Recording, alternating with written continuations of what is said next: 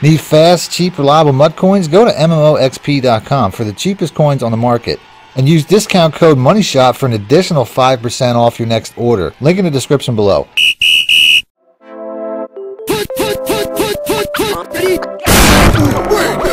Welcome back, YouTubers and Madden fans. This is Madden Money Shot, sniffing at the Madden cheese as always. Got some tips for you today, but we're on something new. We are on next gen. This is our first next gen gameplay. It's going to be our first next gen uh, tip video. So if you guys want to see, I'm not sure if I want to stick with next gen going forward, or if I want to go back to the old game. So you guys got to let me know in the comment section, or hit the like button if you guys want to see me stick to the next gen stuff for a while. I'd like to do some next gen stuff. Obviously, there's some new opportunities, but to me, the game hasn't really changed too much. So number one, if I were to say one of my first tips by the way, you have to actually download the optimized version. I did not know that right away. I just popped it in and started playing, and I was like, wow, this feels exactly the same. It's because it was. So make sure you download the updated version. You also can't continue an event if you started on the old version. You can't continue it on the new version. So that's one of the reasons why I need you guys to let me know which console to stick with, which version to stick with. Because once you go into an event, you have to basically end the event there, which is totally annoying. But uh, like I said, let me know in the comment section which one you want me to do.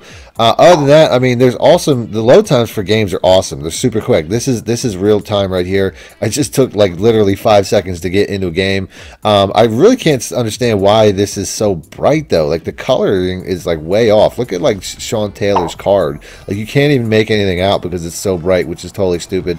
Um, it's it's that way with all the cards you can see. Now this first game, I get I guess I get a, a guy who just got it for Christmas. Uh, i promise you this first game is not going to last very long. But one of the first things that's definitely the weirdest is the play calling screen. At first, I didn't even really know how to like get out of the, the, the picking plays. I still don't know how to do certain things, and I'll go over that in the game.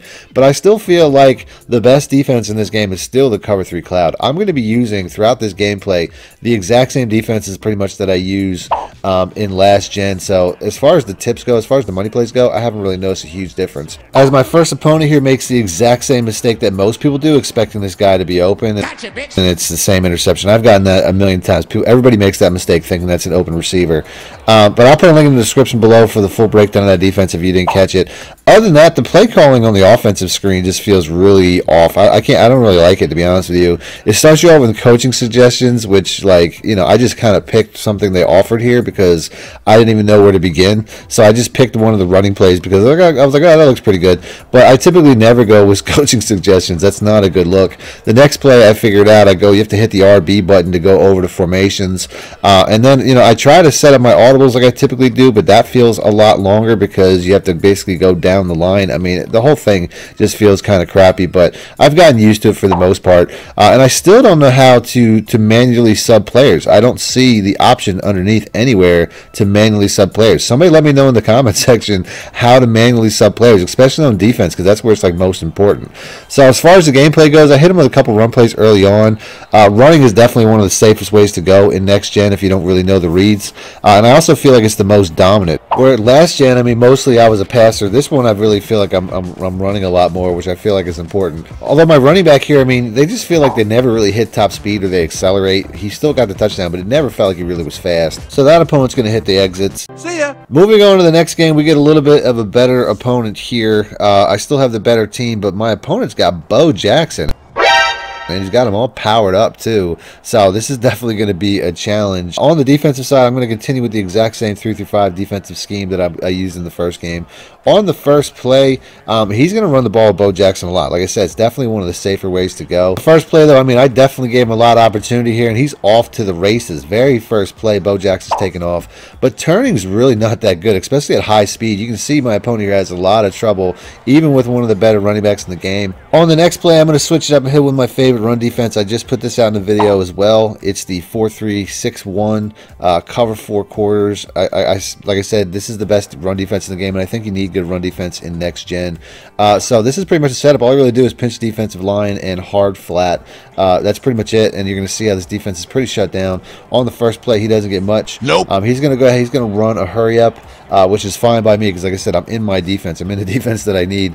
Uh, on the next play, though, he shows that you definitely have to use the right stick. If you want to change direction, you really got to be shifty with it. You got to use the juke buttons. As you can see, that's his best run uh, since getting that first big run. And then on the next play, we shut it down. I'm nope. not even guessing run at, at, at this point.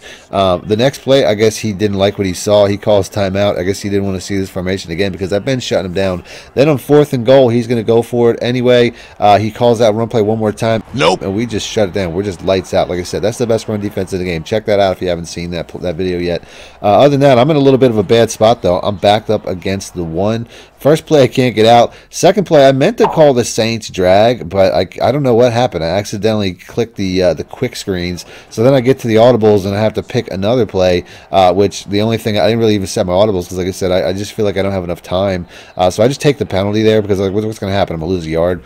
So then I finally get my play up that I want, that I want in the first place. Uh, and I fully expect uh, this Y route to beat this coverage because it looks like a cover two. Sure enough, he gets past it, but I pass lead, and the pass leads are way more dramatic in this game than they are in last gen. What? I mean, he was past that defense. That probably should have been a touchdown. He didn't even result in a catch. So back on the defensive side, my opponent's still going to run the ball. I'm giving him problems with my user. I mean, I stuffed him a couple times. So Bo Jackson definitely doesn't feel as overpowered as he should. Uh, but it is what it is. So, my, so this defense is definitely doing its job. I get him to a third and 10, even though he started off with great field position because of where I was. Uh, we're going to shut this entire series down. He almost had something here. I do feel like these zones do kind of turn slow sometimes, but it is what it is. Then on the next play, he's going to go for a fourth and 10, and he's going to try to take off. We're going to shut him down. So nope. there are still some pretty good defenses in next gen. I hear a lot of people complaining about the defenses, but without a doubt, we're having success. So on the next play, once again, just to show you how these pass leads are. I mean, this is this is not something that you typically would have completed on last gen, as you can see. I mean, that was just a super tight window. But I also think these defenders are super slow. Then on the defensive side, I notice a lot of people are coming out in small packages because they want more speed. I mean, that's the thing with defense. It feels so slow. It feels like players react really slowly. So my opponent here looks like he's coming out in like a dollar or something. I'm not even sure, but he's just giving me these huge run lanes, and I'm just going to take him. I mean, if he's going to come out in this, I'm going to keep him in it. I'm going to hit that hurry up. I'm just going to going to keep coming out and pounding it. And to be honest with you, I do the same thing later in the gameplay where I'm coming out in really small defenses because I want more speed. So on this next play, though, he gets a stop. So you're going to have to figure out ways to get stops even with small defenses like this. I'm going to run the hurry up one more time, though. I don't know what he's doing. He's, he knows I'm running the ball, but he refuses to call timeout and changes the defense. Uh, and then we just get an easy touchdown. So, you know, I mean, it is what it is. So in the next play, I mean, we're on the 3-3-5 still. I still feel like I can stop the run well with this. You can see my user comes through one more time. But ultimately, this defense is a bend but don't break uh, type of defense anyway. He almost busts another big run right there. I, I really thought he was going to get through on that one. Uh, but like I said, this is all about. I mean, I can stop the run pretty well, um, and ultimately, I know I can stop the pass as, as good as anything. So that's pretty much the game plan: bend but don't break. Don't give up anything big. Uh, on this next play here, we should have got the sack there. That's total BS. I got Montez Sweat coming off that edge there, and he's been an absolute nightmare. Uh, totally cheap guy. I'm only using him because um, he's part of my Redskins uh, team chem uh, for Sean Taylor and Terry McLaurin is basically the reason that I went that route. But he's an absolute monster. So he's going down the field pretty easy here. On the next play, he just hits me with a. Uh, I mean, these zone coverages a lot of times they just don't turn very well, and computer defenders just don't react very well. You can see right here. I mean, he didn't even juke. Where you going? he literally just runs right at him and the dude dumbs out like it's like i don't even know like i said some of the defensive stuff's really broken and that's also one of my best defenders on my team uh, on the other side i mean corner routes are really overpowered uh, corner routes didn't beat man in last gen, but they beat everything here. So man zone. I would definitely say make attacking the corners one of the staples of your offense. On the next play here, I mean, I get a really easy one play touchdown. That was by a mile. Um, I get tackled at the one, which is fine. I pretty much wanted to run clock anyway. And then on this next play, I mean, I'm just going to hit him with a fullback dive. You could tell he was run committing. He stacked the box. Didn't matter. Run defense really sucks. Even when you run commit like that, uh, that doesn't necessarily save you. In last gen, though, I do feel like it really bailed you out a lot. Here, it does not. So, on the other side, once again, like I said, I'm really going bend but don't break. I mean, he doesn't have a lot of time anyway. He's still running the ball, and then you can see, I mean, that juke is so important. Like I said, in next gen, last version, I don't think anybody bothered to juke at all, but this version, you really have to. On this next play, you can see I'm in the cover three on this one side. I got about eight yards of cushion. I mean, there's no reason that this defender should get beaten. But the reactions for zones to flip their hips are so slow that for whatever reason, he just gets right past Lattimore what? and beats him on an easy streak. Now, Lattimore, I got him all juiced up. He's a 97 overall. He's one of the faster players on my team. There's no reason that should happen other than the fact that the zone coverages and the defenses in this game are kind of broken. But it is what it is. So back on the offensive side, uh, we're just going to go ahead. We're just going to, you know, dink and dunk a little bit, and we have time. We have our timeouts.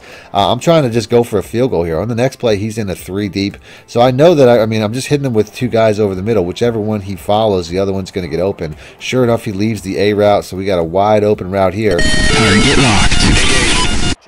So we're just going to go ahead. We're going to take that nice safe catch, and we're going to take an easy three uh, to end the half. So we're taking the lead. We get ball after half as well. He still has some time, though. He's going to be able to run one play. I'm in a three deep myself. I don't really expect him to do anything.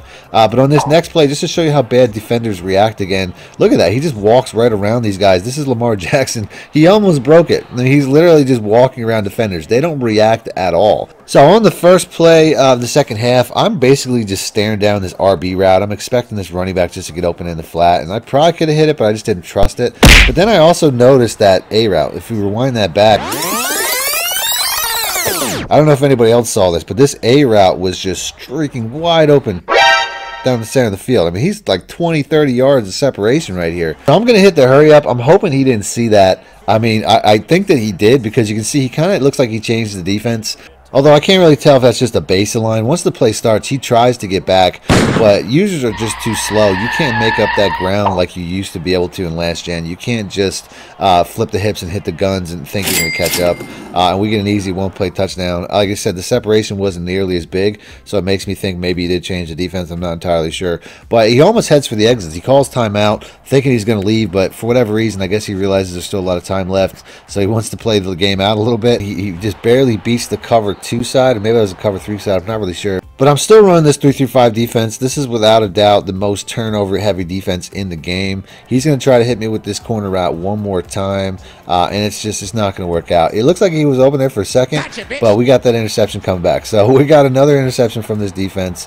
Um, corner routes definitely, I mean, to keep going with these tips though, corner routes definitely beat man. I said that earlier in the gameplay, but I didn't actually show it. Uh, I was running a lot of man covers when this game, when I started playing uh, this next gen version, uh, but these these corner routes just absolutely roast it, which in, in last gen, uh, they get covered. So that's something to remember. Those corner routes are definitely OP. And then we're going to work the, the ground game uh, quite a bit. This is a scheme that I put out earlier in the year. I'm in the Saints playbook, by the way, which I never even mentioned. But you can see, I mean, he's run committing. He's doing everything he can. He's stacking the box. It's not stopping anything. I expect a run commit on the next play, so I hit him with a RPO, and I almost take off with it, as you can see right there. I mean, we dip on that cornerback. Luckily, he uh, he got a guy. Luckily for him, anyway, he got a guy uh, that came over and stopped me. But like I said, he's run committing. These safeties are flying down the box. He's hitting the run commit pretty much every time, and it's still not stopping these run plays. That's how good these run plays are, uh, which is one of the uh, reasons I like using the Saints playbook. They're actually one of the better running playbooks in the game. I actually like running with them more than I like passing with them. And then you can see I'm going to start getting shifty with these run moves. Like I said, I mean, the, the juke move is really the most important move in this game as far as I'm concerned. You can see on this next play, I mean, if you want to change direction, they feel really slow. But if you hit them with jukes, it just seems to open, it just seems to find space. And it just seems to dumb out defenders a lot easier as well. As we punch it in with the fullback uh, for the second time in the game, Patrick Getting involved. Uh, and then on the defensive side, this is a defense I'm actually messing around with that I might put out soon. It's, it's a different version of Cover 3 Cloud out of the dime normal. Uh, I, I, mean, I'm really just looking for something with speed, get more speed on the field in the 3-3-5. Because if my opponent had wants any opportunity to come back, he's pretty much got to pass. And you can see this defense sets up very similar uh, to the other uh, particular defense. And then we're going to go ahead and get a nice uh, user pick right here. Uh, I mean, still, you know, like I said, defense that I'm messing with might be uh, in an upcoming video pretty soon, I think, uh, for next gen. So that's it. That's the vid. If you guys want to see uh, more gameplay, more next gen tips like this, do me a favor, hit the like button and let me know in the comment section. Other than that, thanks for watching, man. My shit out. Need more help or just want to show your support? Then head over to my Patreon and join my team, where you can get exclusive content like ebooks and bonus plays, as well as early access to my vids and more. Link in the description below.